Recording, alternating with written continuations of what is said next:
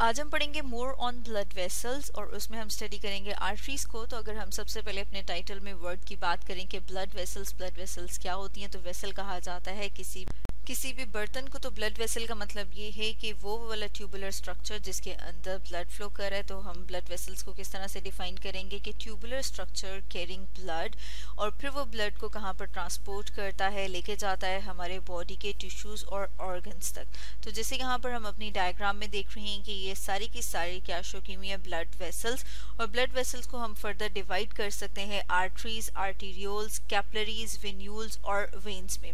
उसमें से अगर हम आर्टरीज की बात करें तो हम कहते हैं कि वो वाली ब्लड वेसल्स जो कि हमारे हार्ट से ब्लड को लेके जाती हैं बॉडी के सेल्स तक, उन्हें आर्टरीज कहा जाता है, जिन्हें कि आज हम डिटेल में स्टडी करेंगे। तो अगर हम इसके साथ एक और डायग्राम देखें तो जैसे कि यहाँ पर इस डायग्राम में हम ह्यूमन आर्टीरियल सिस्टम देख रहे हैं। मतलब ये कि हम देख रहे हैं कि आर्टरीज का पूरा नेटवर्क मौजूद होता है हमारी बॉडी में।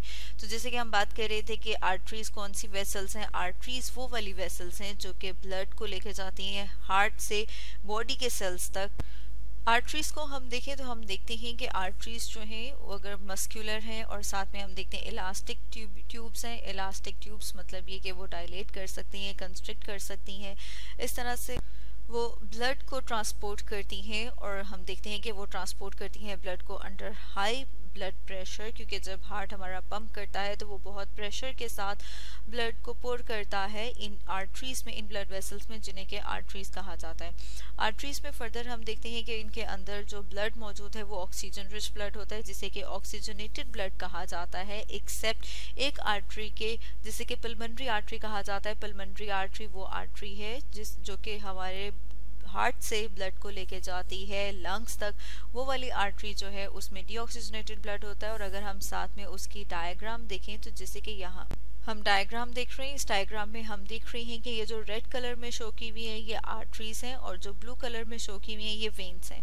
उसमें से हम देखते हैं कि सारी की सारी आर्टरीज जो हैं, उनमें रेड कलर है सवाए पलमनरी आर्टरी के, क्योंकि पलमनरी आर्टरी जो है, उसमें डीऑक्सीजनेटेड ब्लड होता है। मतलब ये कि वो वाला ब्लड है जिसमें ऑक्सीजन की मकदार कम होती है। बाकी आर्टरीज की हम बात करें हैं कि पलमनरी आर्टरी के अलावा मतलब वो वाली आर्टरी जो कि ब्लड को लेके आ रही है लंग्स तक उसके अलावा हार्ट जो पंप करता है ब्लड को, बॉडी के सारे ऑर्गन्स तक तो ये बाकी जितनी भी आर्टरीज हैं, इनमें ऑक्सीजनेटेड ब्लड होता है। ऑक्सीजनेटेड ब्लड का मतलब ये है कि जिसमें ऑक्सीजन की मकदार ज़्यादा है, वो कौन सा ब्लड है? ऑक्सीजनेटेड ब्लड अब अगर हम साथ में इसके साइज़ की बात करें कि जो आर्टरीज हैं, उनका साइज़ कितना होता है तो हम देखते हैं कि जो साइज़ है, वो वेरी करता है, वो डिफरेंट होता है।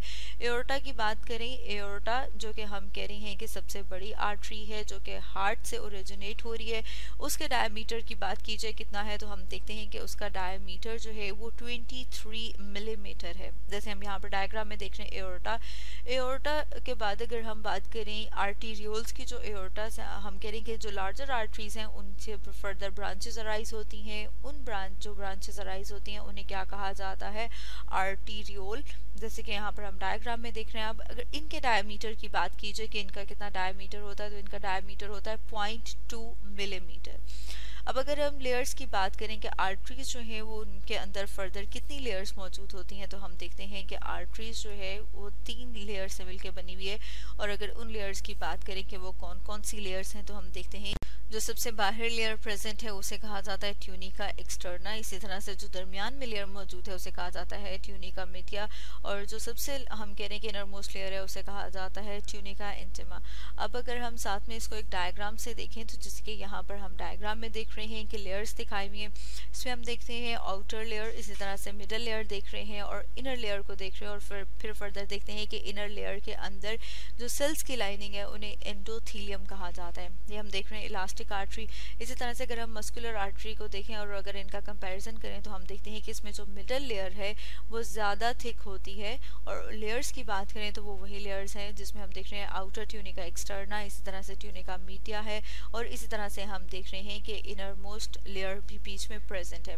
अब अगर हम इन लेयर्स को further one by one discuss करें तो उसमें हम सबसे पहले बात कर लेते हैं आउटर मोस्ट लेयर की, जो कि है ट्यूनिका एक्सटर्ना ट्यूनिका एक्सटर्ना जैसे कि अभी हम बात कर रहे हैं, ये क्या है? आउटर मोस्ट लेयर है।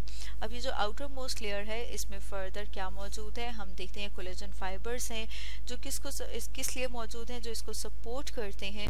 जो कि इसको मज़बूत करते हैं और इसको सपोर्ट करते हैं। अब अगर हम इसकी मिडल लेयर की बात करें तो जो मिडल लेयर है, वो है ट्यूनिका मीडिया मीडिया अब अगर हम इसकी बात, जैसे कि हम बात करें ये कौन सी लेयर है मिडल लेयर और अगर हम फर्दर देखें कि मिडल लेयर में क्या प्रेजेंट है, कौन से स्ट्रक्चर्स प्रेजेंट हैं तो हम देखते हैं कि मिडल लेयर में स्मूथ मसल्स और इलास्टिन प्रेजेंट हैं। और जैसे कि यहाँ पर हम डायग्राम में देखें तो हम देख रहे हैं कि ये जो दोनों हैं, अगर मैं यहाँ से यहाँ तक इसको देखूँ तो ये क्या है?